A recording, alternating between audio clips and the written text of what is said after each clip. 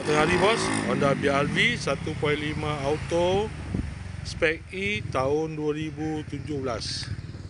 Kereta dah cantik. Cat dah baru. Condition semua okey, tak ada masalah. Kereta ni boleh loan bank, loan kredit dan loan kedai. Kalau nak beli cash pun boleh.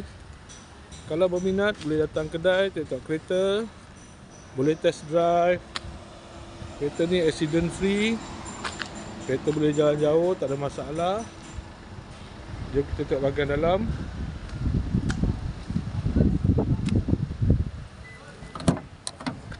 Dalam masih cantik lagi.